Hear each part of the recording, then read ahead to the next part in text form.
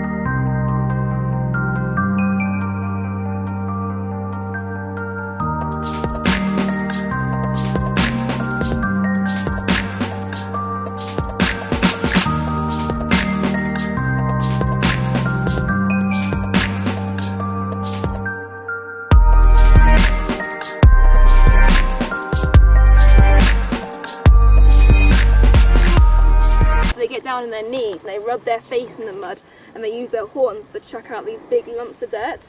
And that is just literally all about scent marking. They have scent glands around their neck and they just rub their scent all over it. And often they'll poo in it as well and they'll flick that everywhere. And that's why all the bulls have such dirty back ends.